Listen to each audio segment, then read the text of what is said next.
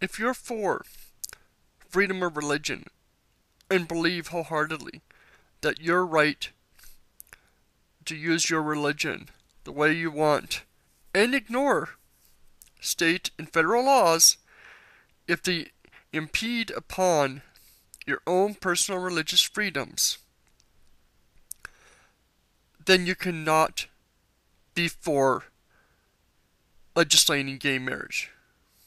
You cannot be for saying gay marriage is not allowed because you're infringing upon their religious rights.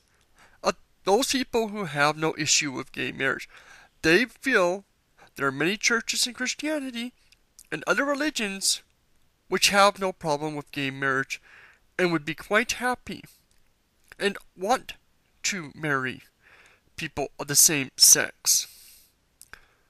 So therefore, their religious freedom to marry gays is protected just as yours is. Or is it only your religious freedom that's protected? If you're for your own religious freedom, even if you don't like gay marriage, you need to support it because you're protecting the religious freedom of other people that you disagree with. If you, if you disagree with this, or if you can tell me why their religious freedom isn't as important as yours, let me know down below. I want to hear your explanations. I want to hear why you can discriminate against their religious freedom to marry gays because of your personal religious feelings.